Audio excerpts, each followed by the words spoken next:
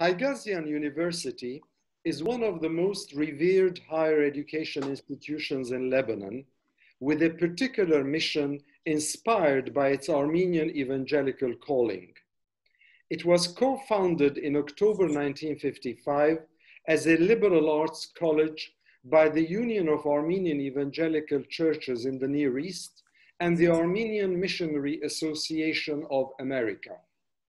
Its objective was to assist in the preparation of teachers and pastors, and also to offer the Armenian community, both local and refugee from the successive waves of deportation and genocide, a higher education of prime quality. But over the years, Haigazian developed into a diverse university with an inclusive Lebanese student and faculty body. Its campus is located in Hamra, in the heart of Beirut, and it has weathered numerous crises that have hit the country.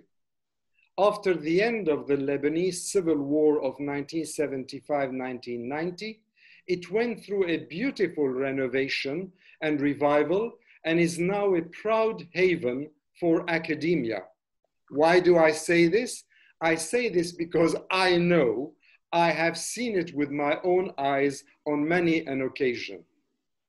Reverend Dr. Paul Haidostian has been at the helm of this institution as president for 18 continuous years, leading it to ever newer levels of development and success. But like many other institutions in Lebanon today, this university finds itself buffeted by the severe upheavals affecting the country. Name them economic, uh, political, and others. In this very brief episode of intuitive reactions, the MENA and Gulf regions, I have the genuine pleasure, and do trust me, it is genuine, of welcoming via YouTube from Beirut, the president of Haigazian University, in a sense, the skipper of this academic boat, who has been working tirelessly to keep the university in terms of its faculty, its students, and its unique mission afloat during this latest crisis. So as I welcome Dr. Paul Haidostian, let me just go straight in, conscious as I am of the time limitations, with my first question. Paul, what are the most serious challenges facing the university today, given the dramatic collapse of the Lebanese economy, the depreciating currency, and perhaps one of the deepest political crises of Lebanon? Uh, first, thank you so much, uh, Harry, Dr. Hagopian. Uh, it's a pleasure to be with you in this conversation. Thank you so much. And directly to the answer. Uh, the past eight months have been quite difficult for Haigazian and for Lebanon. As a university, as a community, as family, we have been having many challenges. But as Haigazian University, probably uh, there were five difficult points. One, to move the university educational system within two or three weeks into an online system, which is not what we did before. Online teaching and online learning are not, not necessarily the same. Mm-hmm. So we were teaching people, we thought or we think still, but what they learned is something else. This has been a major challenge. A second challenge has been dealing with a very rapidly deteriorating economic situation, especially losing trust in the Lebanese banking system. And that has led to tremendous economic challenges. The third one has been the limited chances to cooperate with other academia, universities globally in the past few months due to difficulty of travel, mm-hmm. budget cuts, cancellation of conferences, research programs, and, and so on. The fourth one is and has been and will continue to be to work with anxious people, anxiety. anxious students, anxious staff, anxious faculty, maybe here and there an anxious president. As in nervous. Uh, as in nervous. nervous, anxious, worried, okay. unclear, and anxious in that sense. And okay. fifth, probably, is to go through these months and completing a semester while not knowing what's coming next. That is, come late August with a new academic year, what is Lebanon to look like? Is the student, the university student, going to still choose to go to higher education? Is the student going to stay at university and pay a penny, the penny that they have already lost? Um, so these have been probably the most uh, difficult challenges of the past months of economic, um, uh, political um, protest moods and, and, and the pandemic and all these that you asked about.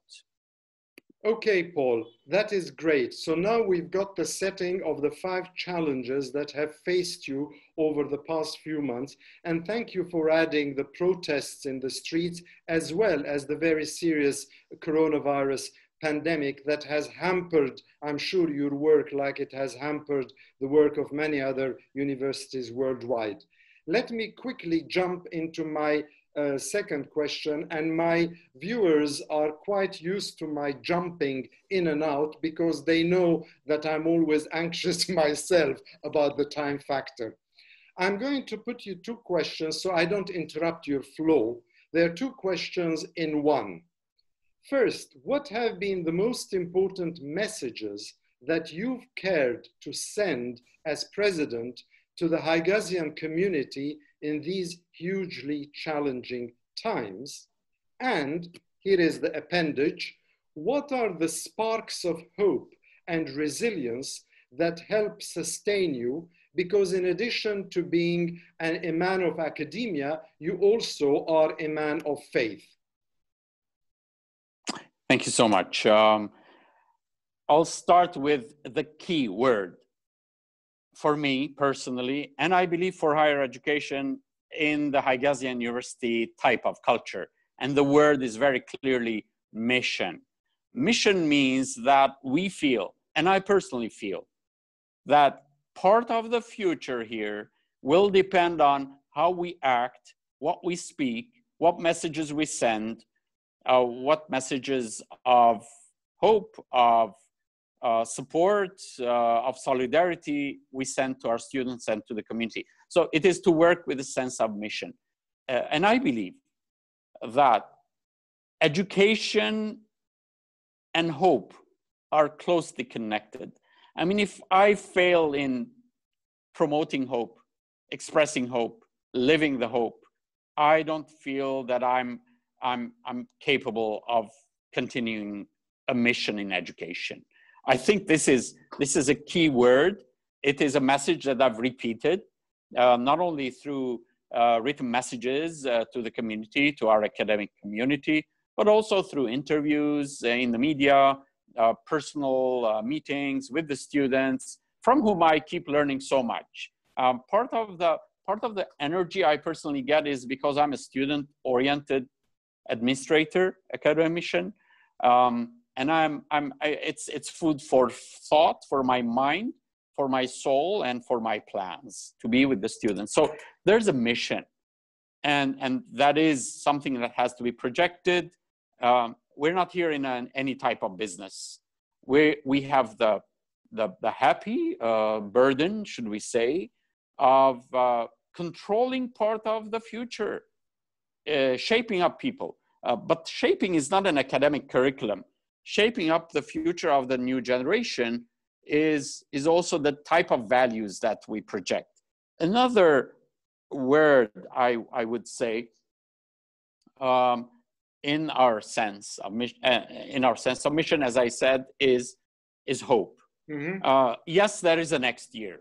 Yes, there's a next semester.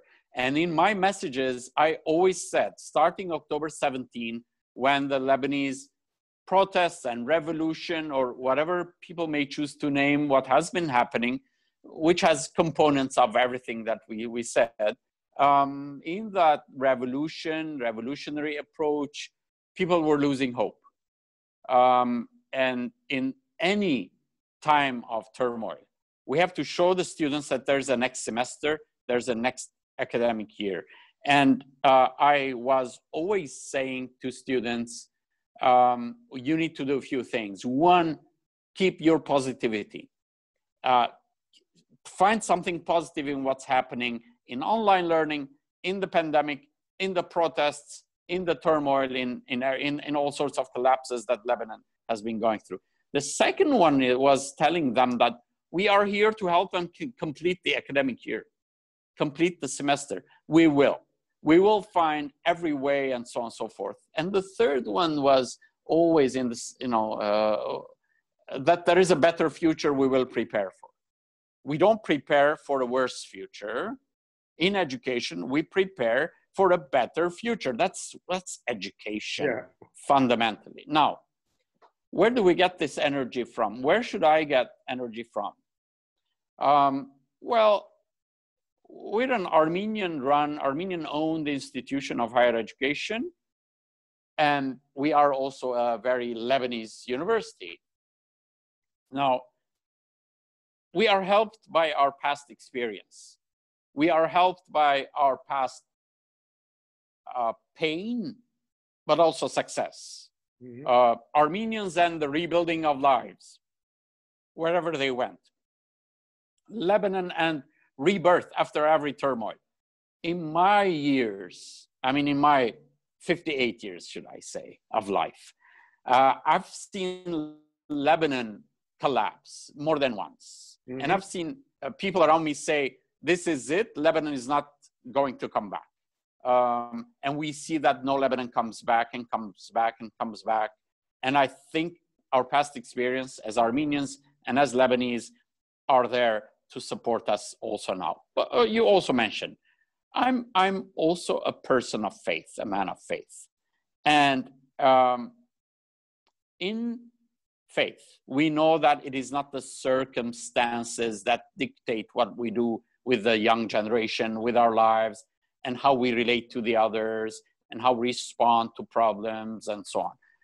I mean, if we let circumstances tell us what should happen or what we should do, how we should think, how we should feel, then there is no faith. That's not faith. Mm-hmm. Um, so much of faith is the picture and vision of a future that otherwise cannot be seen, but only by the eyes of faith. Um, this is not to deceive ourselves, um, but it is to have a plan, to put our trust in God, to put our, our, our ears and eyes into our history and say, okay, what have we learned? And as I said, and as I started, uh, it's a sense of mission. We're going to do this. Why? Because there is a future and we want to shape part of that future in a good way. That's, I believe, part of Haigazian's history. Haigazian is the name of a martyr, an educator, Armenak Haigazian, Reverend Armenak, who was uh, part of the victims, uh, one of the victims of the genocide. And here we are. He died there. We created the university. I think that's the resilience we believe in. Paul, that was beautiful. And I'm sure that a lot of the viewers across Europe, institutional and personal, will be very inspired as well as very interested with what you said. So, to wrap it up very quickly, all I need to do abruptly is to say thank you very much once again, good luck, and in order to put a dash of tribal ethnocentrism in it, let me end with an Armenian Varsket Misht Gadar and good luck. Shnoragaltion, it was a pleasure, Harry. Thanks so much.